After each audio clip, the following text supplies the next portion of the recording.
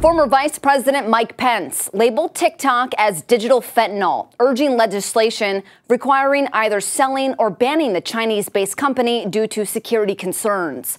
The House is set to vote on a bill to force its sale or face a U.S. ban. The app is so potent and addictive that TikTok is banned within China, Pence wrote in a Fox News opinion column. However, that statement isn't entirely accurate. While TikTok was developed in China, it's not available there at all for one reason. There's already another app called Douyin, which serves as TikTok's sister platform exclusively for the Chinese market. Both TikTok and Douyin are owned by ByteDance, and Douyin launched before its American counterpart. Its algorithm laid the groundwork for TikTok to become a worldwide success.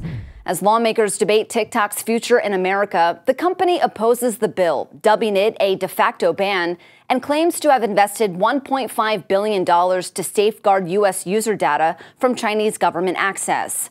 The platform is actively protesting by sending push alerts urging users to call their representatives to prevent a TikTok ban. Former President Trump, who had previously endorsed a TikTok ban, now opposes a ban, fearing Facebook's growing reach. On Monday, he spoke on CNBC's Squawk Box. Without TikTok, you can make Facebook bigger, and I consider Facebook to be an enemy of the people. TikTok CEO faced congressional scrutiny over security risks and child abuse concerns.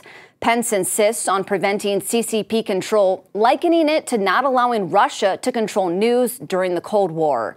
House leadership has scheduled a vote on the measure for Wednesday.